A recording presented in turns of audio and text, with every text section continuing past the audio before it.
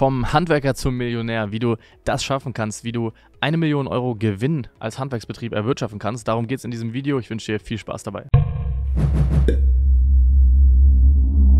So, herzlich willkommen zu diesem Video. Ja, der Videotitel ist ein bisschen plakativ vom Handwerker zum Millionär. Äh, ich sitze hier wieder mit dem Alex und ja, wir wollen uns heute mal um die Frage kümmern, wie kannst du es schaffen, eine Million Euro Jahresgewinn als Handwerksbetrieb zu erwirtschaften. Ja, also ähm, wie gesagt, der Titel ist jetzt ein bisschen provokativ gewählt, einfach ähm, um das Interesse äh, so ein bisschen zu wecken. Und ähm, wir wollen aber mal grundsätzlich der Frage auf den Grund gehen, wie kann man es eigentlich schaffen, als Handwerksbetrieb ja. mal einen ordentlichen Gewinn, ja siebenstellig, äh, überhaupt zu erwirtschaften. Was steckt da alles dahinter? Was muss man dafür äh, berücksichtigen? Was muss man auch alles vorher ja, bedenken? Und ähm, ja, dafür ähm, sitzen wir hier und wollen mal dieser Frage auf den Grund gehen. Ja, bevor jetzt die Kommentare da reinhageln, natürlich ist man kein Millionär, wenn man eine Million Gewinn macht. Nicht direkt erstmal, weil man hat ja auch Steuern, die man zahlen muss und so. Kommt ja alles dazu. Und nur weil man das eine Jahr eine Million Gewinn macht, nächstes Jahr kann man eine Million Verlust machen, ist man wieder bei Null. Das geht jetzt wirklich nur rein darum, das einfach mal schön zu rechnen und das, weil es im Titel halt schöner klingt und Millionär jeder was mit anfangen kann. Und wir wollen jetzt auch nicht berücksichtigen, was vielleicht noch die ganzen Fahrzeuge, das ganze Equipment wert wäre. Es geht wirklich jetzt rein ganz stumpf um am Ende des Jahres eine Million Gewinn vorsteuern, ähm, die man dann hätte. Ja, wir können das ja mal zusammen, also mal durchgehen. Ich sag mal, wenn man jetzt sagt, der normale Handwerksbetrieb, wir gehen mal, wir gehen mal von einem sehr, sehr effektiven Handwerksbetrieb aus. Der normale Handwerksbetrieb hat vielleicht seine, seine 10% ähm, ja, Netto-Umsatzrendite und ein sehr, sehr effektiv hat vielleicht mal seine 15, sagen wir sogar mal 20%. Das ja. ist natürlich schon sehr, sehr viel, aber es soll sehr, sehr effektiv sein. Ja sehr guten Vertrieb haben, sehr gutes Marketing haben, sehr gute Bekanntheit haben, dann kriegt er auch 20% tatsächlich hin. Das ist möglich. Haben wir Betriebe, die schaffen das. Ja. Das heißt, wir reden dann ja schon mal von mindestens 5 Millionen Euro Umsatz, die geschrieben werden müssen. Richtig. Ne? Ja. Jetzt können wir mal beispielhaft, was nehmen wir mal für einen Bereich? Nehmen wir mal einen Bereich PV-Anlagen, Ja, das ist ein gutes Thema. Ja. Nehmen wir den Bereich, ähm, sagen wir mal, okay, 5 Millionen Euro Umsatz, was steckt dahinter? Da stecken dahinter dass ich, wenn ich mal sage, so eine Anlage kostet mal, mal 25.000, mhm. ne, da müsste ich ja, kann man mal rechnen, kurz, bevor wir jetzt hier was Falsches sagen, aber nach erster Einschätzung so 200 Stück dahinter stecken, kann das sein? Ja. Ich rechne das mal kurz nach, ähm, dass wir da auch korrekt sind. 200 mal 25.000, ja, das sind 5 Millionen, das passt. Das heißt, wir reden da hier von, von so 16, 17 Anlagen im Monat, die man machen müsste. Ne? Genau. Jetzt ist klar, bei 17 Anlagen im Monat, da brauche ich schon mal ein Team. Das schaffe ich alleine nicht, tendenziell. Ja. Wenn ich da sage, dass ich, dass ich effektive Teams habe, wo ähm, jedes Team, hängt natürlich von der Anlagengröße ab, ne, sagen wir mal, eine Anlage in der Woche macht, brauche ich vier Teams sind schon mal acht Leute alleine Montage, vielleicht noch eins, zwei Elektromeister dahinter, die das Ganze ein bisschen koordinieren. Da habe ich schon mal zehn Leute alleine Montage plus Elektromeister, die ich da haben müsste für. Genau. Mindestens mal. Da reden wir immer noch von einem sehr effektiven Unternehmen, wo wenig Fehler passieren. Ähm, wobei, ich glaube sogar, dass die Teams bei den, bei den PV-Leuten meist aus, aus drei, drei Leuten bestehen, aber das ist immer ein bisschen unterschiedlich von Person zu Person. Es gibt auch Leute, die wirklich zu zweit dann weggucken. Ja, also es gibt also unterschiedliche, unterschiedliche, unterschiedliche Konstellationen. Genau. genau. Also Mit mehr Leuten geht es auch schneller natürlich, genau. dann kann man wieder mehr einkalkulieren. Sagen wir einfach mal, wir haben jetzt mal zehn Leute in der Montage dafür. Das ist sicherlich ein Wert, der schon realistisch sein kann. Und dann bräuchten wir jetzt, um diese 200 ähm, zu schreiben, bräuchten wir ja mindestens mal, ich sag mal mal jetzt vernünftige Anfragen, hat mindestens mal 400 Angebote, die gemacht werden, weil die Hälfte kauft. 400 Angebote, ja. Genau. Für 400 Angebote, das sind wie viele im Monat? Das sind dann so 30 im Monat? 30? Ja. 35 ziemlich genau, glaube ich. Ja, 35 müssen das sein. Im Monat, die ich da machen müsste. Ähm, das heißt, da rede ich von mindestens mal zwei bis drei Vertrieblern die gut sind. Mhm, mhm, ne? Also zwei Vertriebler mindestens mal.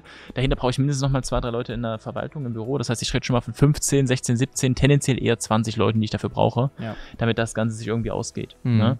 Aber mit 20 Leuten ist es auch gar nicht mal so unrealistisch dann. Das ist gar nicht mehr so weit weg tatsächlich. Nee. Das Wichtigste hier ist halt tatsächlich, und das unterschätzen die meisten auch, ist wirklich, wie ich es in der Verhandlung schaffe vorne wenn ich es halt schaffe, diese Anlage für 25 zu verkaufen, wo der Konkurrent vielleicht nur 22 durchgesetzt bekommt, dann habe ich halt viel mehr Effektivität in meinem Laden halt plötzlich drin. Mhm. Obwohl ich dahinter noch nicht mal was anderes mache als der. Mhm, Nur mhm. weil ich vorne halt Vertrieb besser mache und damit einfach mehr rausbekomme. Also hier ist wirklich für, für so einen Betrieb, der das mit der Größe machen möchte, ist der Hauptpunkt äh, tatsächlich, dass der Vertrieb gut stimmen muss. Das heißt nicht, dass wenn der Vertrieb top ist, alles andere auch super funktioniert immer, aber das ist die Grundlage. Und ich habe auch schon genug Betriebe gesehen, die haben 60, 70, 80 Leute und die machen keine 500.000 Gewinn. Also es, es kann auch sein, dass man halt mit 20 Leuten vielleicht nur die Hälfte oder ein Drittel hat, aber jetzt wirklich mal idealtypisch gesprochen, 20 Leute, wahrscheinlich realistisch, wenn man mittel das sieht, eher 30 bis 40, da kann man die Millionen schon machen. Ja. Wenn man jetzt natürlich ambitioniert ist und wächst gleichzeitig, auch viel investiert, geht das wieder auf Kosten des Gewinns, ist logisch logisch.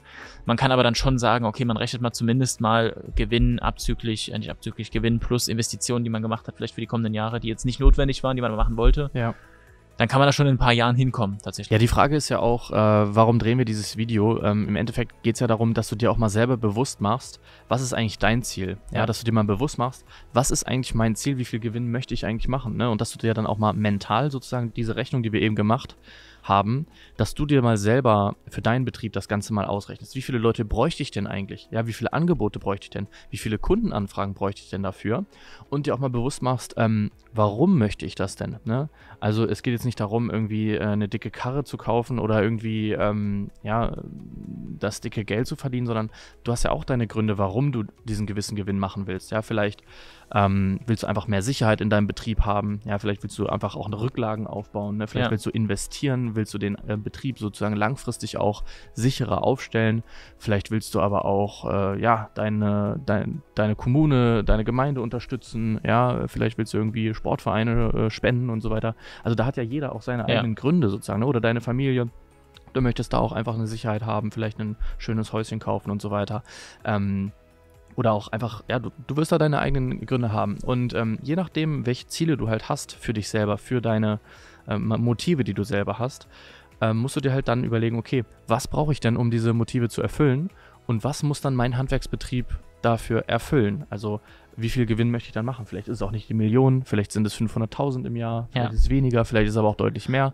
Und dann musst du dir sozusagen mental im, im Kopf schon mal dieses Bild machen, okay, das wird nicht von heute auf morgen passieren, aber du musst dir schon mal überlegen, das, was wir eben durchgegangen sind, ja, dann bräuchte du so und so viele Leute, so und so viele im Vertrieb und so weiter, dass du dieses mentale Bild schon mal ähm, aufzeichnest und vielleicht sogar schon mal so auf einem Blatt Papier auch einfach aufzeichnest. Ja, so viele Leute im Vertrieb bräuchte ich, so viele Leute bräuchte ich in der Montage. Die müssten das und das schaffen, die müssten das abarbeiten, so genau. und so müssten die Zahlen von denen aussehen. Weil sobald das einmal sozusagen in deinem Kopf schon mal so durchdacht wurde, dann arbeitet dein Unterbewusstsein auch die ganze Zeit. Wie ja. kann ich da hinkommen? Wie kann ich jetzt an mehr Kundenanfragen kommen? Wie kann ich Leute im Vertrieb finden? Dann ergibt sich auf einmal eine Chance oder ähm, in der Montage wird jemand in anderen Betrieben frei und so weiter und dann knüpfst du Kontakte. Alles fügt sich auf einmal so ein bisschen besser, weil du halt einfach mental schon das das durchgespielt hast. Ja. Ne? Also Profisportler zum Beispiel, die machen das ja auch die ganze Zeit. Die gehen ja auch vor dem Spiel oder auch vor der Saison, gehen die sozusagen ihre, ähm, ihre, ihre Bewegungen und so weiter nochmal durch. Ja, das heißt, das machen die nicht aus Spaß, sondern das machen die einfach, weil die dann mental diesen Weg schon mal gegangen mhm. sind und dann ist es halt im Spiel oder im Kampf oder wo auch immer äh, deutlich leichter, das abzurufen. Und genauso ist das im, im Unternehmertum auch. Wenn du das mental schon mal gegangen bist, dann ist das in der Realität, das nochmal das Gleiche zu machen, äh, ist deutlich äh, einfacher, ähm, weil du ja schon weißt, wo du hin willst. Ja, du weißt halt schon, was sind die Notwendigkeiten, was sind genau. die Bedingungen dafür, das Ziel zu erreichen. Und vielleicht nochmal, um das, um das Beispiel mal aufzugreifen, weil ich weiß schon, dass viele das für sehr unrealistisch halten, mit, mit äh, 20 bis 30 Leuten eine Million Euro zu machen. Mhm. 20 Leute ist vielleicht wirklich sehr ambitioniert, muss man fairerweise sagen, weil Leute werden ja auch mal krank und so. Aber 30 Leute ist definitiv möglich. Also wir haben einen Partnerbetrieb, der hat jetzt 40 Leute, der hatte letztes Jahr im Schnitt 30, also Anfang 20, dann Ende 40. Also so 30 im Schnitt und der hat tatsächlich ähm, nach allen Investitionskosten, und die haben, kannst du dir vorstellen, sehr viel investiert. Wenn die von 20 auf 40 Leute aufgestockt haben in einem Jahr, haben die immer noch über eine halbe Million Gewinn gemacht. Bedeutet, wenn man diese ganzen Investitionskosten jetzt abgezogen hätte und gesagt hätte, okay, das ist alles Geld, was nächstes Jahr nicht nochmal investiert werden muss, weil die Fahrzeuge sind schon angeschafft, das ist alles schon da, dann wären die locker auf die Million gekommen. Und das dann mit dem Schnitt 30 Leuten. Also von daher, das ist gar nicht so weit weg, wie man jetzt denkt. Man muss halt sehr effektiv sein, muss in Strukturen sehr gut sein, man muss halt sehr effektiv im Vertrieb sein. Ja. Dann ist das alles auch machbar. Und mach dir das wirklich mal. Mach mal die Übung. Überleg dir einfach, wo willst du hin? Wo willst du stehen im ersten Schritt mal? Und dann überleg dir das runtergeschrieben, was bedeutet das eigentlich für mich? Und dann such nach genau den Leuten, die dir dabei helfen können. Wenn du sagst, dann brauchst du so und so viele Anfragen zu, melde dich bei uns. Dann brauchst du Mitarbeiter, melde dich bei uns. Wenn du sagst, dann brauchst du Material zu, melde dich bei Herstellern. Die Möglichkeiten sind ja immer da. Ja. Genau, ich denke, über die Zahlen kann man natürlich diskutieren. Das Wichtige ja. ist, dass du dir mal für deinen Betrieb überlegst, ja. wie ist es aktuell, wie hättest du es gerne, wie soll, ähm, was ist dein Ziel in Zukunft? Und dann kannst du mit diesem Zahlenmodell auch einfach so ein bisschen mal rumspielen. Ja, was ist, wenn ich hier sozusagen die Raten ein bisschen verbessere, wenn ich im Vertrieb ein bisschen effizienter werde, wenn ich hier ein bisschen schneller werde? Und dann, ja, kann man sich im Prinzip schon mal so ein, so ein grobes Bild erschaffen, wie es sein soll. Und darum ging es eben in diesem Video. Genau. Ne? Genau, dann danke für die Aufmerksamkeit. Wir hoffen, da waren ein paar Sachen dabei, auch wenn das jetzt alles ein bisschen, ein bisschen äh, anderer, anderer Ansatz mal ist hier, weil es ist ja doch für viele gar nicht normal, sich das mal zu fragen, die Frage zu stellen, aber warum nicht, ne, warum nicht? Nach den Stern greifen erstmal und gucken, was am Ende rauskommt. Nicht ganz simpel.